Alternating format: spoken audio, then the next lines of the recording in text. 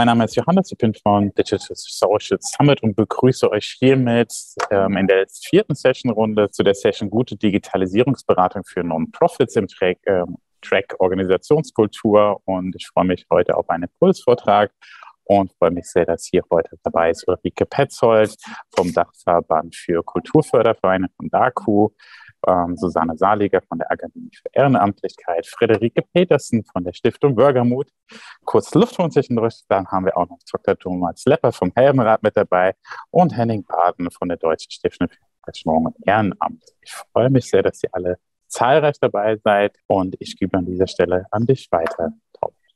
Vielen herzlichen Dank, lieber Johannes. Ähm, ich darf auch alle herzlich begrüßen. Schön, dass ihr den Weg hierher gefunden habt und euch für den Code interessiert. Wir, also alle, die der Johannes gerade vorgestellt hat, ähm, wollen ein bisschen über diesen Code plaudern, vor allen Dingen mit euch darüber plaudern.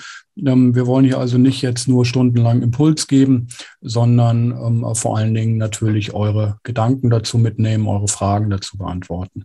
Äh, zum Kreis der Initiatorinnen dieses äh, Code of Good Practice, wie wir das genannt haben, äh, gehören natürlich eine ganze Reihe anderer Organisationen auch, unter anderem auch das Haus des Stiftens mit Clemens Frede, der auch angekündigt war, sich aber entschuldigen lassen muss. Ähm, Im Geist ist er aber trotzdem dabei und freut sich natürlich genauso darüber, dass, dass ihr dabei seid und euch interessiert, äh, wie wir anderen auch. Ja, es ist mittlerweile, ich habe nochmal nachgeschaut, ähm, schon fast ein bisschen her. Am 27. Juni 2020 ähm, spät abends hat ein gewisser Jan Holze der Deutschen Engagementstiftung, also seines Zeichens Vorstand, ähm, äh, die Frage auf Twitter formuliert und ich zeige das mal kurz. Follower Power, wo sind für euch Lücken oder Bedarfe in der Förderung von Ehrenamt und Engagement? Ihr seht es hier oben, ja. Teilt uns eure Erfahrungen mit. Und ein gewisser Thomas Leppert hat sich dann abends hingesetzt und ein paar Sachen dazu aufgeschrieben. Und eine gewisse Ulrike Petzold, die wir hier auch sehen, hat äh, dann geschrieben, Mensch, Coaches, die in Vereine gehen und bei der Digitalisierung helfen, das brauchen wir. Und ich habe dann gefragt, Mensch, sag mal, ich schneide mir ja vielleicht als Berater für sowas ins eigene Fleisch, aber bewirken wir überhaupt etwas? Das war die Ausgangsfrage. Was bringt eigentlich mehr, Coaches bezahlen oder den Organisationen das Geld selbst in die Hand zu geben? Und daran hat sich eine kleine Diskussion entsponnen. Bis zum Beispiel ähm, die Ulrike gesagt hat, das würde ich doch eigentlich gerne mal diskutieren mit mehreren betreffenden Playern. Und der Jan Holze hat auch schon gleich, wie es so seine Art ist, damals äh, in die Diskussion eingegriffen und gesagt, Mensch, super, ähm, machen wir. Ulrike, kannst du vielleicht einen Termin koordinieren? Und das führte dazu, dass sich ein paar Leute getroffen haben.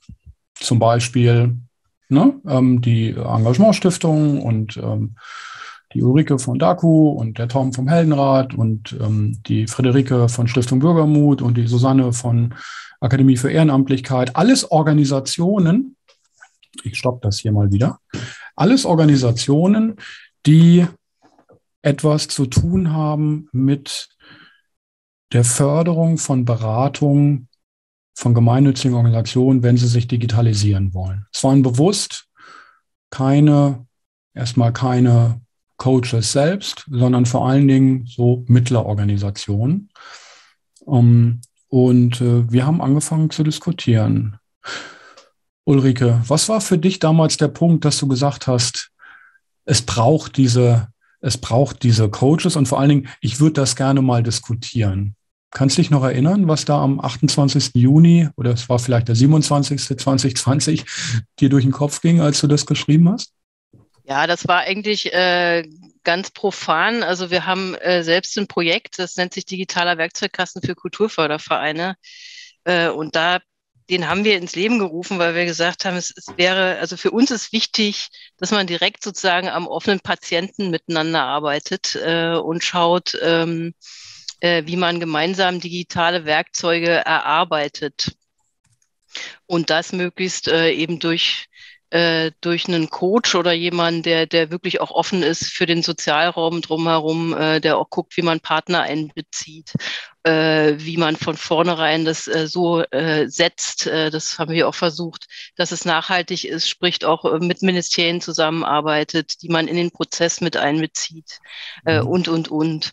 Und äh, darüber einfach nachzudenken, wie diese Mechanismen funktionieren können, dass man Klar, es gibt einerseits die Möglichkeit, dass man ganz klar Weiterbildungsworkshops, Seminare oder jetzt eben zunehmend auch digitale Weiterbildung macht. Aber für uns ist einfach spannend ähm, zu schauen, wie man eher eine, so Coaching-Prozesse am offenen Patienten, wie ich schon sagte, anstößt und da mal zu überlegen, ob nun Coaching oder Beratung, äh, was da so die die äh, Schlüsselqualifikationen sein müssten eigentlich von so einem Coach oder Berater und dass wir alle als Organisation mal überlegen, was brauchen wir eigentlich dafür ganz konkret.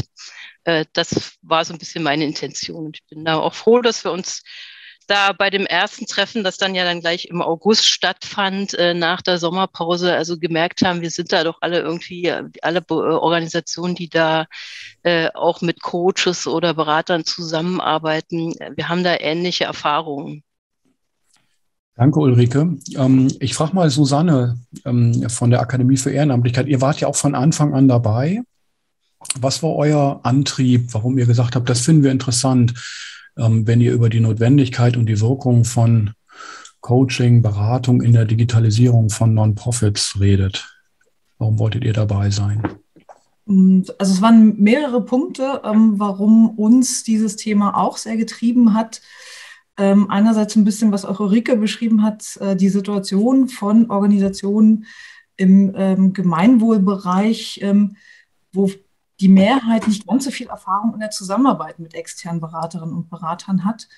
Ähm, und da eine Orientierung so ein bisschen zu geben. Ne? Worauf kann ich denn achten, wenn ich äh, jemanden dazu hole? Versteht der mich oder die mich denn gut? Wissen die, worum es hier gerade geht? Ähm, wir ticken einfach anders als äh, in der Wirtschaft ähm, beispielsweise. Und die andere Seite war auch ein bisschen, dass wir in unserem Projekt die Verantwortlichen Hashtag Digital ähm, ja viel mit Beraterinnen und Beratern zusammenarbeiten, die ähm, auch aus ganz unterschiedlichen ähm, Bereichen kommen und äh, eben nicht nur aus dem Non-Profit-Sektor oder den kennen und die wir halt auch so ein bisschen darauf vorbereiten wollten, auf die Organisation, auf die Bedürfnisse einzugehen, auf die besondere Situation mit, mit ehrenamtlich, mit Engagierten auch zu arbeiten. Und so ein bisschen auf einer Metaebene schwang auch so eine Art ähm, Qualitätssicherung mit. Ne? Ihr habt ja ähm, äh, eine große Expertise auch in der Zertifizierung von Freiwilligenmanagement, äh, von solchen Prozessen im Ehrenamt. Ähm, insofern ist es ja nicht ganz verwunderlich, dass ihr auch natürlich mit dem Qualitätsauge äh, auf, auf diese Fragen geschaut habt. Henning ähm, von der Engagementstiftung, wenn ich sie mal abkürzen darf. Ähm, ihr habt ähm, bekanntermaßen Digitalisierung ähm, mit als Fokusthema ähm, in eurer Arbeit mit drin.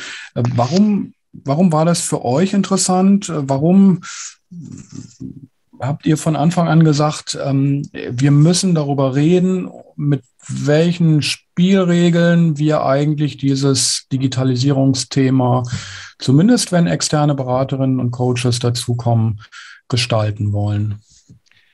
Die Frage ist heute fast noch interessanter als zu dem Zeitpunkt, als, äh, als wir mit der Diskussion begonnen haben. Weil so überlegen, du hast jetzt gesagt, äh, Juli 20, da war die Stiftung äh, einen Monat alt und wir haben äh, tatsächlich einfach ähm, auch eine Qualität von Jan Holze einfach in den Raum mal reinzurufen und zu sagen, Leute, lasst uns die Stiftung äh, gemeinsam mitgestalten. Und ähm, mir hat es viel Spaß gemacht, von Anfang an dort mitzudenken, weil es wirklich nochmal eine, eine inhaltliche Arbeit war, zu sagen, wo kann das hier hingehen, was wir miteinander aufbauen.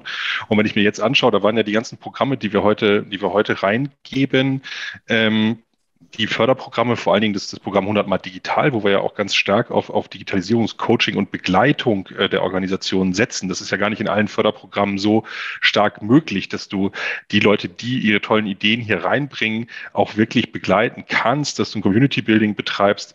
Diese Fragen sind da so, sind da so wichtig. Ähm, wie können wir, wie können wir gewährleisten, dass wirklich eine Beratung auf Augenhöhe stattfindet? Das war uns von Anfang an ganz wichtig, weil wir schon durch das erste Förderprogramm festgestellt haben, wir erreichen ganz viele Organisationen, die sind keine Profis in Förderanträgen. Das sind kleinere Organisationen, die wollen, die sehen es als eine Chance, sich jetzt wirklich mit ihrer digitalen Herausforderung auseinanderzusetzen und benötigen äh, dabei wirklich etwas, was nicht von oben herab stattfindet, sondern was sich wirklich in die Organisation hereingibt, äh, auch bei der Antragstellung ein Stück weit unterstützt äh, und diese ganzen verschiedenen Dimensionen von Digitalisierung erstmal erstmal auch aufmacht und beschreibt, weil wir ähm, häufig ist ja die, die das, das nehmen wir mal dieses Förderprogramm 100 mal digital, wo es um eine, um eine Lösung einer digitalen Herausforderung geht oder um ein Bearbeiten einer digitalen Herausforderung. Das geht ja häufig so viel tiefer. Das ist ja häufig ein Ausdruck davon zu denken, es hat jetzt erstmal nur was in Anführungszeichen mit Digitalisierung zu tun, sondern geht ganz tief in den Organisationsentwicklungsprozess rein. Und deshalb war es für uns hier ganz, ganz spannend, von Anfang an mit euch gemeinsam an Qualitätsmaßstäben zu arbeiten. Dankeschön, Henning. Ich darf übrigens verraten, diese Ursprungsfrage, die ich da nachts mal in diesem Tweet formuliert habe, ähm, bewirken wir eigentlich und ist das Geld nicht eigentlich besser woanders aufgehoben? Äh, die ist gleich in der ersten, in der ersten Gesprächsrunde beantwortet worden. Ähm, nämlich mit, ja, natürlich braucht es uns, natürlich bewirkt das was. Aber vor allen Dingen müssen wir darüber reden, unter welchen Bedingungen das stattfindet. Ja, so, was ist gute Beratung? Da, die, die Frage war irgendwie nach einer Stunde auf dem Tisch. So, wir haben uns also nicht lange damit aufgehalten zu fragen, warum machen wir das eigentlich? Also bewirkt das eigentlich was und ist das sinnvoll, sondern ja, ähm, aber mit welchen Spielregeln?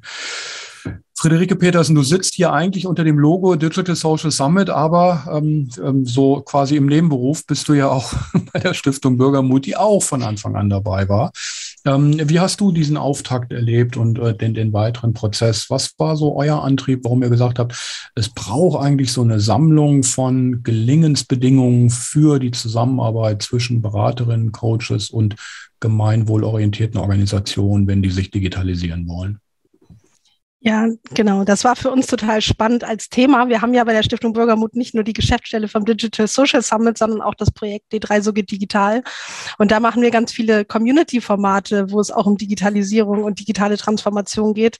Und da ist das Thema ähm, Beratung ähm, oder Erfahrung mit BeraterInnen auch immer wieder sehr zentral gewesen, gerade was schlechte Erfahrungen anging, wenn es um Softwareimplementation anging. Gleichzeitig haben wir auch eine ganz tolles Set an Menschen an der Hand, die wir immer wieder auch in unseren Coaching- und Beratungsformaten einsetzen, die zumindest für mich auch ein bisschen als Blaupause für diesen Code gedient haben, wie man es richtig machen kann.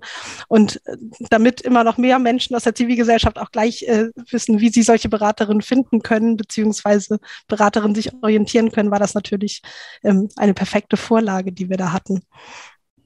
Absolut. Vielen Dank. Erstmal vielen Dank auch an euch ähm, vier, äh, nochmal so den Aufschlag mit zu formulieren. Wir haben dann ähm, in all der Zeit, ähm, wir kennen das, in der Zivilgesellschaft wächst das Gras nicht schneller, wenn man dran zieht. Wir haben uns Zeit für genommen ähm, und haben aber so eine Sammlung versucht. Eine Sammlung von Grundsätzen, die man bei solchen Beratungsprozessen beachten sollte. Wir haben da mehrere Schleifen gedreht, haben das auch auf dem einen oder anderen Barcamp mal vorgestellt, in der Szene ein bisschen vertikuliert, sagt man so, vertikutiert, ventiliert. Ne? Ähm, und ähm, am Ende ähm, ist tatsächlich Anfang des Jahres ein Code of Good Practice ähm, Digitalisierungsberatung, Coaching für gemeinwohlorientierte Organisationen rausgekommen, den wir auch vor wenigen Tagen veröffentlicht haben. Ich stelle mal sicherheitshalber für alle, die es vielleicht noch nicht gesehen haben, den Link dazu in den Chat. Könnt ihr also jederzeit reingucken. Und ich teile nur kurz den Bildschirm. Wir wollen auch nicht über jeden einzelnen ähm, äh, Aspekt hier ähm, in, in aller Tiefe beraten.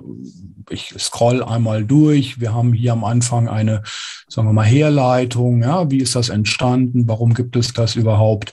Und haben dann einige Grundsätze. Gemeinwohlorientierung, ja, Digitalisierung ist nicht unbedingt ähm, äh, ein Zweck für sich, sondern es dient natürlich einer, ähm, einer, einer gewissen Werteorientierung. Wir wollen auf Augenhöhe begegnen. Äh, wir arbeiten an den Themen, die die Organisation gut finden und wichtig finden und nicht die wir als Beraterinnen und Berater vielleicht wichtig finden. Äh, hier geht es immer um Partizipation. Das ist ein zivilgesellschaftliches Thema ohnehin, aber hier nochmal stärker. Wir machen eine Mischung da, wo es gebraucht wird, eine Prozessberatung, aber wir bringen auch durchaus technologische Fachkompetenzen mit. Ja, das ist ja eine große Frage, was wird mehr gebraucht. Wir sehen das als gemeinsamen Lernprozess. Ja, wir wollen also auch, dass ähm, wir diese Augenhöhe auch so leben, dass wir gemeinsam ähm, auch iterativ vorgehen und Erfahrungen sammeln. Wir sehen natürlich ein gutes Change Management als Bestandteil von erfolgreichen Beratungsprojekten. Wir glauben, dass Zivilgesellschaft davon abhängig ist, wirklich, dass sie Wissen teilt und dass eben die eigenen Digitalisierungserfahrungen nicht für sich im stillen Kämmerlein bleiben, sondern dass solche Sachen, wie es zum Beispiel die Braunschweigische Stiftung hier macht, aber auch viele andere Organisationen, dass sie über ihre Erfahrungen berichten. Ähm, D3 ist da auch ein tolles Format für, dass das ganz, ganz wesentlich ist für eine gelingende digitale Transformation in der Zivilgesellschaft. Und ähm, das ist eigentlich schon alles. Das sind die Grundsätze. Ihr seht hier nochmal äh, die aktuellen Unterzeichnerinnen, also die, die an diesem Code schon mitgewirkt haben bis hierher. Und das ist, finde ich, eine ganze Reihe von Organisationen, die viel Erfahrung in der Digitalisierungsberatung und Unterstützung haben. Die ähm, Mitarbeit war tatsächlich sehr, sehr konstruktiv, äh, sehr pragmatisch. Wir haben uns eigentlich kaum gestritten, eigentlich gar nicht, wenn man ehrlich ist. Ähm, es gab äh, natürlich immer mal wieder einzelne Punkte, die dem einen oder der anderen wichtig waren. Zum Beispiel, Ulrike, wenn ich dich mal fragen darf, du hast dich von Anfang an auch dafür ausgesprochen, dass wir nicht nur von Beratung sprechen, sondern auch von Coaching. Warum das eigentlich? Das kommt jetzt doch noch.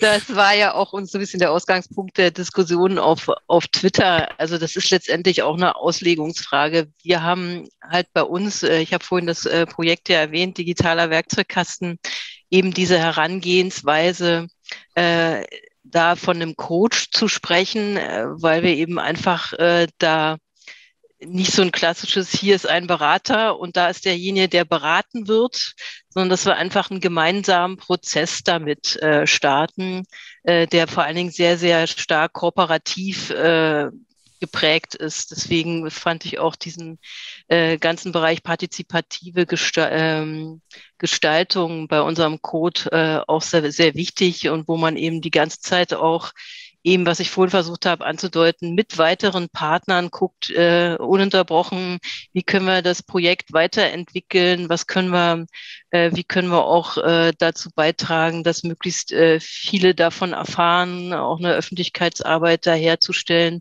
und vor allen Dingen eben auch, und das war ja der letzte Punkt, auch zu gucken, mit so einem Coach, der wirklich wie so eine Spinne im Netz eher ist, ja, äh, wie man eben auch das, was wir da lernen, anderen äh, äh, weiter, an andere weiter weitertragen können, bis zu dem, dass wir ja bei unserem Projekt so einen digitalen Werkzeugkasten tatsächlich haben, wo wir äh, einfach froh sind, wenn den jeder auch benutzen kann und wir auch da einfach, dann gucken wir mit diesem Coach so einen Prozess einfach organisieren, dass es ähm, äh, Stakeholder gibt, die davon dann wissen und, und das auch weitertragen. Also es ist mhm. sagen ein sehr breites Auf, Aufgabenspektrum, ähm, wo einer gemeinsamen kooperativen Erarbeitung mit vielen Akteuren.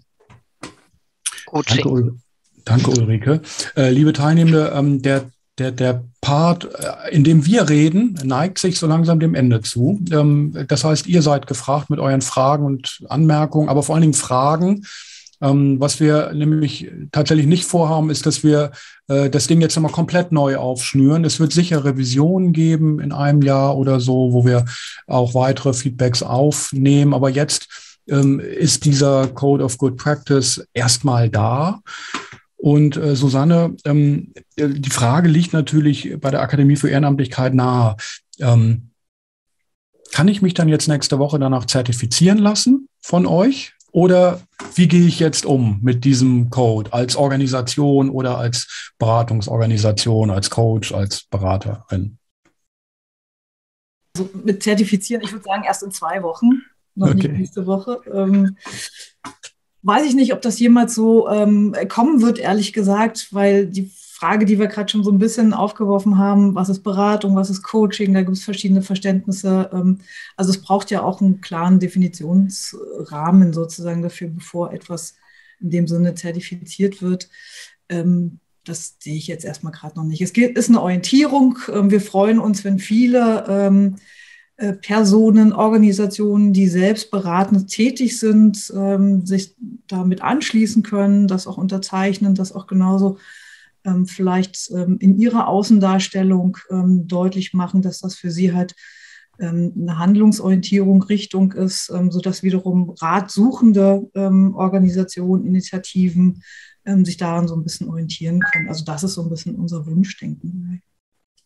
Das heißt, vielen Dank, Susanne. Das heißt, Henning, es wird nicht so sein, dass die Förderinstitutionen, wie ihr sie seid, ähm, das jetzt äh, zum Teil ihrer Förderbedingungen machen, dass ich als äh, Berater, Beraterin, Coach nur dann ähm, von euren Fördermitteln profitieren kann, wenn ich diesen Code mit unterzeichnet habe, beziehungsweise als Organisation darf ich nur solche Beraterinnen, Beraterinnen und Coaches einsetzen, die dem Code beigetreten sind? Oder welche Rolle spielt oder hat dieser Code für euch in der praktischen Arbeit zukünftig?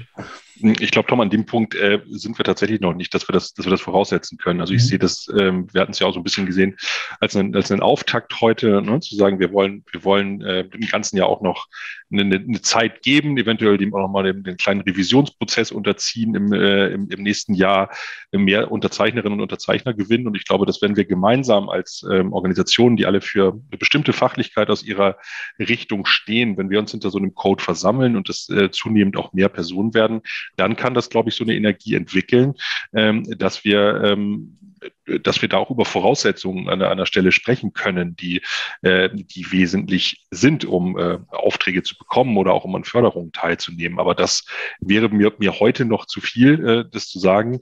Äh, ich glaube allerdings, dass das ähm, etwas ist, wenn wir offen damit umgehen, dass wir diesen Code unterstützen, äh, dass es auch eine eigene Energie entwickelt, dass sich Bewerberinnen und Bewerber, dass sich Organisationen daran richten, weil wir natürlich auch an vielen Stellen darauf verweisen werden.